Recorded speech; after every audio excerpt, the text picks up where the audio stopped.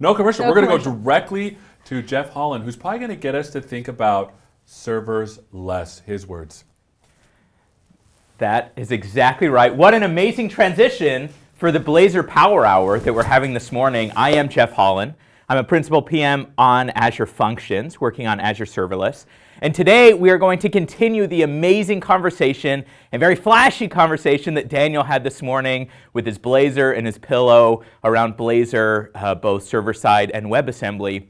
We're actually going to apply that into a very common scenario, which is running Blazor and Azure Functions for serverless web apps. So to start with kind of what to expect for the next half hour, let's start by talking about what are serverless websites? What's some of the architectures that people are using? What are some of the benefits of why people would look into doing this?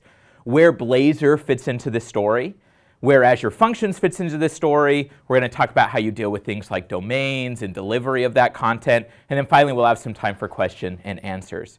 So to start with, when we look at a traditional web architecture, like the kind of web app that you probably built before, has been kind of the one often ta talked about as a three-tiered web application, it works a lot like this, where you have a client who's got their browser, and they make a request to some website. In this case, I've got a cool hip.dev domain. So let's say I want to call jeff.hollan.dev. That's the website I want to go to. Well, the browser makes that request. That request travels across the internet. It ends up landing on some server.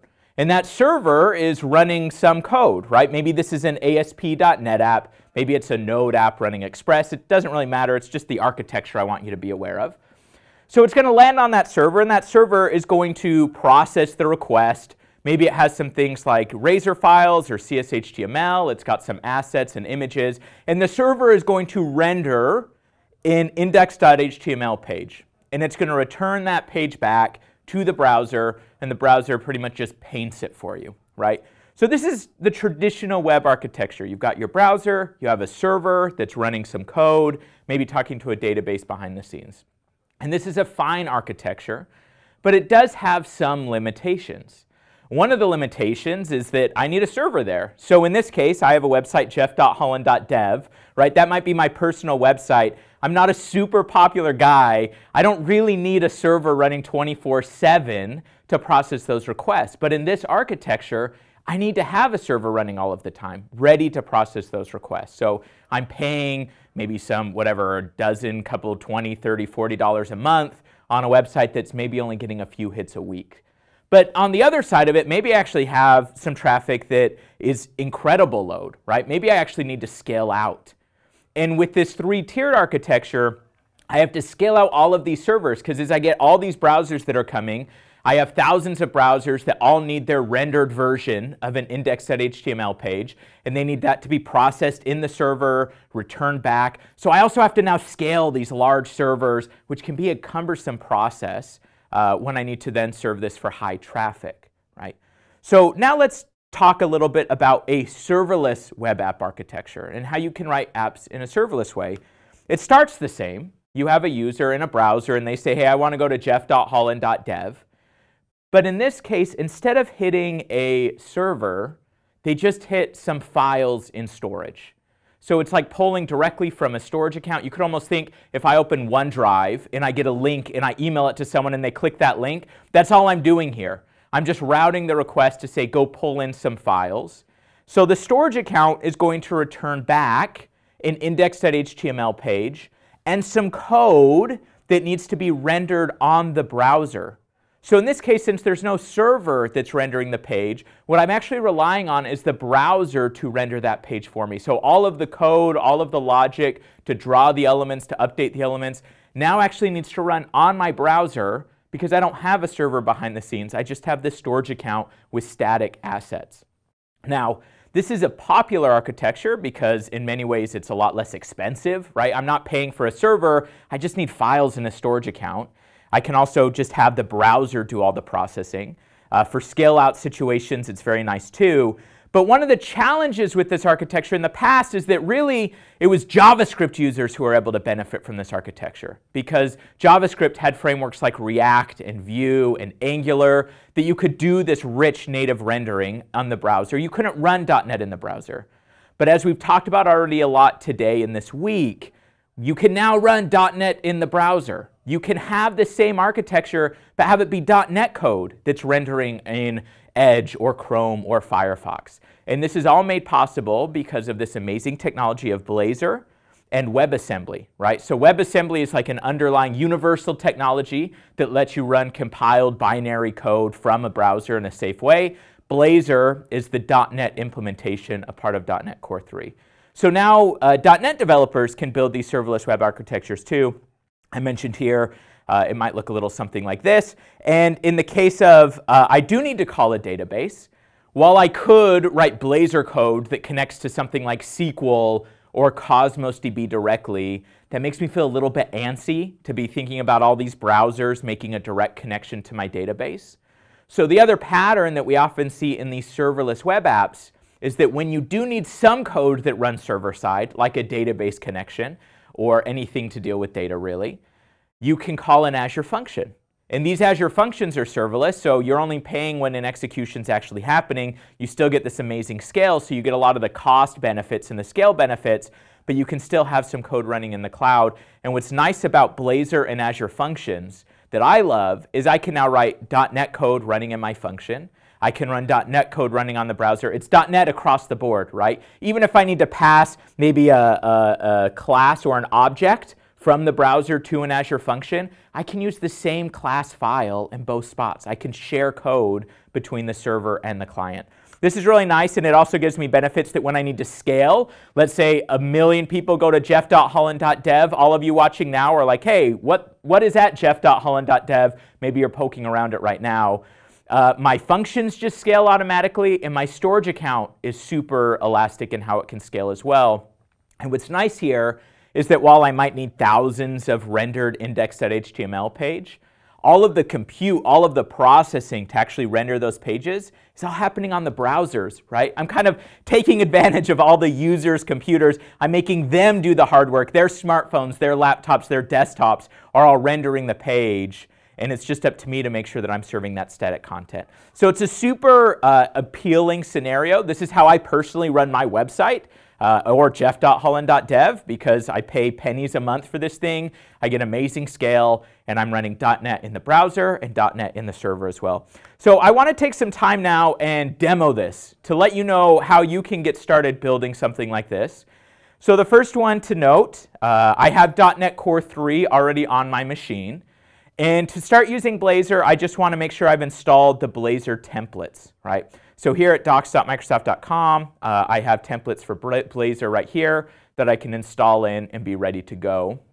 And once that's there, I can create a new project. So let's start with the client side. Let's create a new Blazor client-side WebAssembly app. Uh, so I have here a folder already ready to go, and I can just say .NET new, and I'm going to use the template Blazor WebAssembly, or Blazor that's going to run in the browser, right? So I go ahead and push to create. It's using the template to create a Blazor WebAssembly app.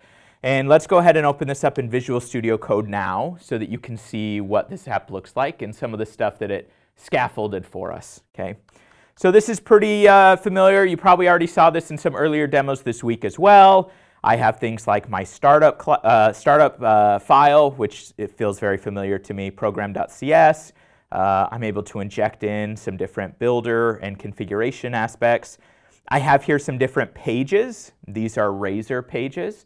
In these case, these are Razor pages that are going to render in the client. The index.html page is pretty boring. It's just some HTML. Uh, the counter example is a little bit more interesting because here I have some code and it's going to increment a counter using current count plus plus. And then finally, the fetch data example is fetching some data from an external source. My favorite line of code in all of this template too is this line right here. And I don't know why, but just the fact that I'm using HTTP client and I know that my good old buddy HTTP client is going to be the thing making this request from my browser, in my case using Edge on Mac, just tickles me. I love it. I love HTTP client. I love the fact that I can use it in the browser. So here I have some code, some basic pages here. If I want to as well, like let's go ahead and just test this out uh, without even making any changes. I can just say .NET Run. It's going to compile this Blazor template. In this case, it's going to compile it along with some WebAssembly kind of artifacts so that it knows how to run cleanly in a browser. And in just a second here, it should expose for us a local host that we can actually browse and start to navigate to. So right here, localhost 5000. If I open that up, here now is this C-sharp app, no code server side. It's not even doing code locally. It's just compiled it and handed it over to my browser. And my browser is now doing all of the work here through WebAssembly. Okay. So now let's talk about how we can start to call some data from an external source, right? In my case, I said sometimes you might have a database, something like Cosmos DB or SQL, that I don't want to call directly from my WebAssembly app. So here, let's add in some function information. So since we're already at the, the Blazor side, I'm going to start by creating the Blazor aspects to call a function. So let's add a new page here.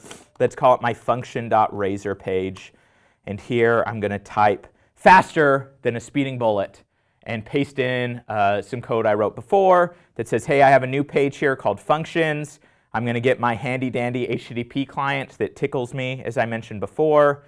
Uh, and here, when I'm trying to initialize the page, you'll notice I'm actually calling an Azure function.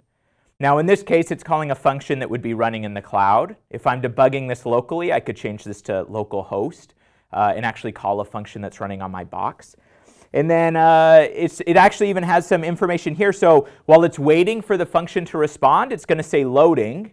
And then once I get back my message from the function, it will automatically populate the message. So it's going to be dynamic as well and wait for those responses. So here I can call that function. Let's just go ahead into the navigation menu as well. And I want to make sure that there's a way to navigate to this new page. So I'm going to type that very quickly as well too right? So now I have what could be some code to call a function. What about my function? Where's the function that I can call? And that's super easy to set up as well. Let's go ahead here and open up uh, another empty folder called function app. I'll just create a new window for VS Code. I could add these to the same workspace. Now here in Visual Studio Code, I've installed the Azure Functions extension. Now I could do this from Visual Studio 2019 as well, uh, but since I'm already in VS Code, I'm, I'm just going to stick with it. Let's just go ahead and create a brand new function project using that function extension. And as I mentioned, what I love about Blazor is that I actually want to write C-sharp client side and C-sharp server side, or serverless side. Uh, so let's go ahead and choose C-sharp as our language. These are APIs, so they're going to be triggered by HTTP requests. Uh, I want to call this my hello function, and I can give it the, uh, the namespace. And with that, VS Code is now scaffolding for me a Azure Functions project that I could use to run all my code, in this case, server side. Uh, so here, this is the default template. It's pretty boring, right? It's just saying, hey, get a request, look at the query parameter, uh, see if they passed in their name, and then say hello to their name. I could add in here, you know, connect to Cosmos DB, do a query on SQL, return the results, in my case, though, let's just even simplify this a little bit. And we're just going to say return new OK object result, and we'll just say hello world. Okay. So here now is my Azure function. When I'm ready to go, I could debug this locally. I could now publish this to the cloud. So I can say, actually, I want this code to be running in Azure, so it can be called whenever I need to. Right? So I have a function already here called jhollan blazor which is the function that I could publish this to or create a new one. Uh, and so now this code can be available to run in the cloud, right, at the URL that I decide. So if I actually switch back over here, you'll notice uh, I've already published this same app ahead of time at jhollan blazor, and I've said slash hello. So let's go ahead and test this out now, now that we've actually added some more custom code. We'll do the same thing, .NET run. It's going to compile this app, create the WebAssembly bridge, pass all those static content files over to my browser in just a second. And here, if we now open up localhost 5000 again, same data before, but you'll notice here's my new Azure Functions tab. And when I click this, uh, you'll notice it says loading for a second. If you caught it, it said loading while it was making that call. And then as soon as it got the call back, it says the message is hello, right? So it called that function. The function returned some data. In this case, it was just a string but I could very easily replace this with data from SQL as well. So for the last part of this, I want to show, now that I have this running locally, how do I get it so that it could actually be accessed from somewhere that's not localhost 5000, right? I mentioned before this needs to be in a storage account. So how do I go actually get this into a storage account? This is actually my favorite part of this entire demo because it could not be easier. So I'm in Visual Studio Code already. I mentioned before that I have the Azure Functions extension already installed. Let me show you one other, not task, sorry. Let me show you one other extension that I have installed. I have a lot of extensions because I love VS Code. Uh, in addition to the Azure Functions extension, I have the Azure Storage extension, which will let Visual Studio Code know how to talk to a storage account. And with this extension, I can actually get a one-click publish to a storage account. So first I need to generate the bits that I need to publish, right? So right now I've just been debugging. How do I actually generate the static content that I need to upload to the storage account? So if you're familiar with the .NET CLI, this next command I run is going to be very familiar. It's really just .NET publish. I'm saying publish me a release. This isn't for debugging anymore. I'm going to define my own output folder. In this case, just use the publish folder. I could use the default if I wanted to. And when I run that, it's going to compile my app as well. It's going to create a release uh, profile for it. And it's going to stick it in this folder I just defined called publish. So if I come here once this is done compiling, you'll notice I have a new folder called publish. And I open up publish, it's got all of my bits here. Now you might be wondering, what are the files that I need to copy to my storage account? There's some web config, there's some DLLs here. Uh, the answer is right here. Do you see this dist folder for like distribution? This is the folder that I want to copy and paste into a storage account. You'll notice here's the index.html page. This is kind of the static content it's going to return. It's a pretty boring page. It just pretty much says load up all the amazing WebAssembly stuff. Uh, I've got some framework things here which have all my WebAssembly bits, uh, my bin folder which has my DLLs. So this dist folder is the one that I need to get into a storage account. And I mentioned this was my favorite part of the demo because check this out. I'm going to right click this folder and because I have that Azure storage extension, in VS Code I have this one click gesture right here which is deploy to static website. Now really all it's doing is it's just going to copy this folder and copy it into an Azure storage account for me. And it's going to configure the Azure storage account so that it can serve web content. Uh, so I could do this manually. I could do it through Azure DevOps if I wanted to. But for getting started, I really like to just say, you know what, deploy a static website. Here it's going to ask me to either create a new storage account or select an existing one. I already have a storage account called jhollan website, so I'll just say, you know what, publish to that one. And let's go ahead and tell it to deploy. And you'll notice here it's saying copying over those 49 files into the web folder of this storage account. So as it copies those files over, it just takes a second. Now, all those files have been copied. And here, I can now go to jhollanwebsite.z5.web.core.windows.net. That's super easy to fit on a business card. But I can browse to that. And here, I'm just hitting that storage account. And the storage account now has returned to me back all this static content that I've been able to render into this Blazor page, right? So this is no longer localhost 5000. This is now my storage account running in the cloud. In fact, if I come over here to my storage account, uh, I can even open up this storage account. There's no magic here. Let's use this Storage Explorer preview. And here in my Azure storage account, this is just that dist folder, right? So all I'm pointing to is that I've configured this storage account to do, I'll show you all the settings here, static website hosting. So I've turned this on, which gives me a nice endpoint. And then Visual Studio Code went and copied all my files into this folder that it creates for web hosting. And all that's happening is my browser makes a request to this domain, and my storage account returns back this index.html that it can use to render the page, right? So no server anymore, just storage.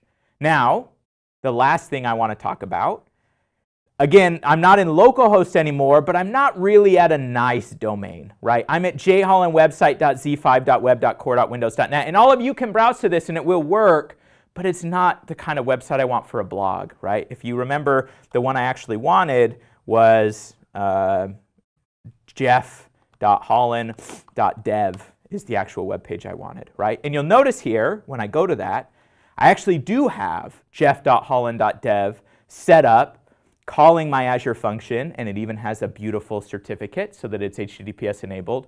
So the last thing I want to talk about is how did I pull that part off, right? How did I actually get the storage account to be able to use with a custom domain like hollan.dev or jeff.hollan.dev? So the other aspect here, if you're going to go set this up for yourself, and there's some great docs and samples as well, is that in Azure, I have a few resources that are helping me out. Uh, for one, I've hosted my DNS records inside of Azure. So I have hollan.dev as a registered domain in my Azure account. And I've actually told it, and I apologize, my zoom here is a little bit aggressive as I've been zooming in and out. I've actually told it that when I go to uh, hollan.dev, I've configured this to route to Azure Front Door, right? So Azure Front Door is a kind of like a CDN++ plus service for Azure. I could also serve this directly from a CDN, uh, but I like Azure Front Door for a few features that it provides. I've even had some other C names here too, so I can go to like jeff.hollan.dev or functions.hollan.dev, which will call my functions. So I have some DNS here, and then I mentioned the Azure Front Door. This is the thing that gives me custom domain, domains, right? So at, at, at my Azure Front Door, which is kind of the delivery network resource, I've told it to serve resources for requests to hollan.dev, to jeff.hollan.dev, to functions.hollan.dev, I've set up some routing rules here so that it will redirect always to HTTPS. Front door gives me free certificates.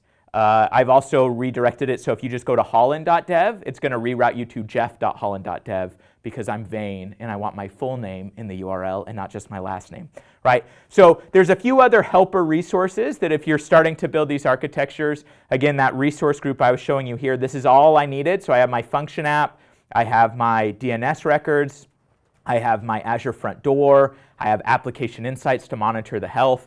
Uh, and that's really everything that I need to get started in hosting my new Blazor apps. So hopefully you get a sense for how you can get started using tools like Visual Studio, Visual Studio Code, create a serverless Blazor app. And while this is fun for things like blogs, maybe where I'll finish too, is we also see people using this for uh, bigger scenarios, right? So one of the things, uh, I'll leave this page up here on, on learning more. One of the cool scenarios we ran into actually about a year ago is we had a large retailer who was running a massive promotion. They needed to be able to serve like 10,000 requests a second because they were going to be giving a huge, huge deal. And they were worried because their website traditionally was this massive WordPress site. And they're like, we, it's really hard for us to scale that out to handle 10,000 requests a second. So what they did is they took just the page that was going to be hit with the promotion. They made that page into this serverless web architecture where they had Azure CDN, they had storage, they had functions. This was before Blazor, so they were using JavaScript, but the, the world still lives the same, like the, the truth are there. But they were able to run this massive promotion. This page scaled incredibly elastically. They only paid for the number of hits that it had, and the rest of their site could go be happy as a WordPress site. So this is a really interesting pattern to be aware of. I'd encourage you to try it out for your own blogs or even if you want to try aspects of your website as a serverless web architecture. Uh, as I mentioned, if you want to learn more about Blazor, check out blazor.net. There's templates and getting started docs there. Functions pair great with it for the server code, so azure.com slash functions. Uh, and thank you all very much for joining. We'll see now, Seth, if we have any questions that have come in along the, along the way. We do actually have some questions. I'm glad. By the way, well done.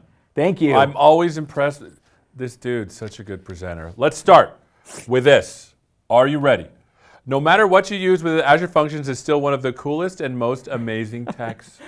I just wanted to lob one to I you. was going to say, I was going to say, is this my own tweet? Did I tweet some love Adding Blazor functions? to it levels up the cool factor. It's good to Ah. be cool, you know, every once in a while. At least it was for me that one time. now here's a serious one because I wanted to lob one to you, Hmm. and now it's a little bit a harder one. Jeff Hollan, doesn't infinite scalability also mean infinite cost? Ah, uh, that's a fantastic question. It can mean infinite cost. Uh, so one of the things uh, with functions that is fantastic is that you can scale per request, but there's a term in you hear in the serverless sometimes called a denial of wallet attack, where if you just hit this, if someone actually did a DDoS right now on jeff.hollan.dev, you might rack up my bill a lot. So one of the things that we allow today only in some of our more premium tiers for Azure Functions, but as a way to kind of set caps so that you can be like, look, I want to have this be serverless, but I never want to be paying more than whatever $500 a month. So something to be aware of, things like API management are also paired often with functions so that you can do things like rate limiting and throttles. Uh, so it can mean infinite cost. Even then, it's whatever 0.000054 cents per request, but it is something to be aware of. Uh, Yeah, but if you're racking up that many calls, your website is probably racking in more.